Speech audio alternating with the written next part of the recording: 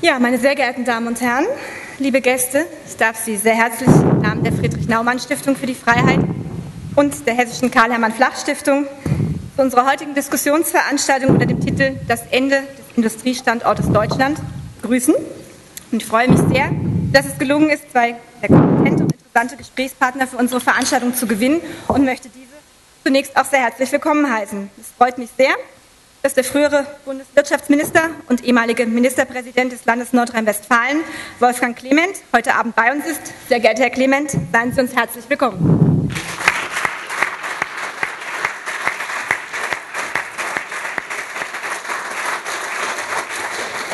Ein ebenso herzlicher Willkommensgruß geht an den hessischen Minister für Wirtschaft, Verkehr und Landesentwicklung, Herrn Florian Rentsch. Herr Minister, herzlich willkommen. Schön, dass Sie heute Abend bei uns sind.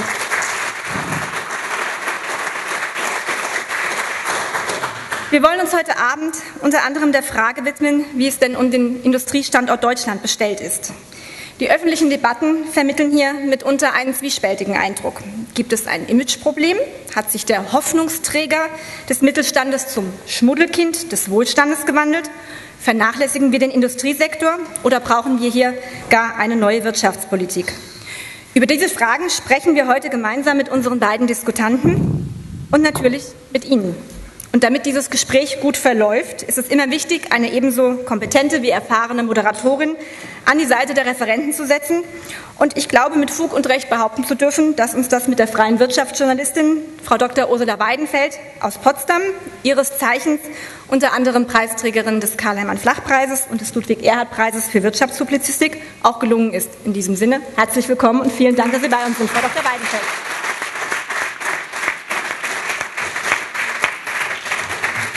Ja, liebe Gäste, der, Teil, äh, der heutige Abend ist auch ein Teil ähm, der Fortschrittsinitiative Zukunft gestalten, die die Friedrich-Naumann-Stiftung für die Freiheit in diesem Jahr ins Leben gerufen hat.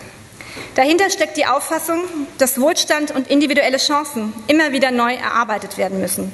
Es gilt, Deutschland braucht Fortschritt zur Schaffung von Zukunftschancen und Freiheitsräumen für alle, zur Wahrung und Mehrung unseres Wohlstandes, zur Lösung zahlreiche Aufgaben, die für uns als Gesellschaft stehen. Die Initiative beschäftigt sich unter anderem mit den Themen soziale Marktwirtschaft als Erfolgsmodell für Deutschland, Fortschritt, der neue Chancen zum Beispiel durch liberale Bildungs- und Forschungspolitik bietet, mit Leuchttürmen der Spitzenforschung, aber auch mit Bürgerpartizipation, denn jeder kann zum Fortschritt beitragen. Sie werden in den nächsten Monaten neben dieser Veranstaltung noch zahlreiche weitere Stiftungsveranstaltungen aus diesem Spektrum im gesamten Bundesgebiet besuchen können und zu denen laden wir Sie heute schon sehr gerne ein. Und auch einladen möchte ich Sie zum Abschluss natürlich, sich an der Diskussion, am Gespräch zu beteiligen. Wir werden nach circa einer Stunde Diskussion auf dem Publikum wie immer auch Ihre Fragen und kurzen Wortbeiträge, Anregungen ähm, zur Sprache bringen und äh, möchte allerdings noch darauf hinweisen, dass die Veranstaltung aufgezeichnet wird. Das heißt, Sie haben die Möglichkeit, sie in wenigen Tagen auch auf unserer Homepage nochmal nachzuschauen. Wenn es allerdings Menschen gibt unter Ihnen, die nicht ihre Wortbeiträge aufgezeichnet wissen möchten, dann bitte ich Sie, das zu Beginn ähm, zu sagen, dass wir das entsprechend dann schneiden können. Ja, und da nicht alles zur Sprache gebracht werden kann in knapp 90 Minuten, ähm, laden wir Sie wie immer im Anschluss zu einem kleinen Get-Together ein, draußen in der Wandelhalle. Und nun freue ich mich auf einen interessanten, spannenden Diskussionsabend mit Ihnen, mit unseren Gästen auf dem Podium. Danke für Ihre Aufmerksamkeit und darf das Wort an Frau Weidenfeld geben. Herzlichen Dank.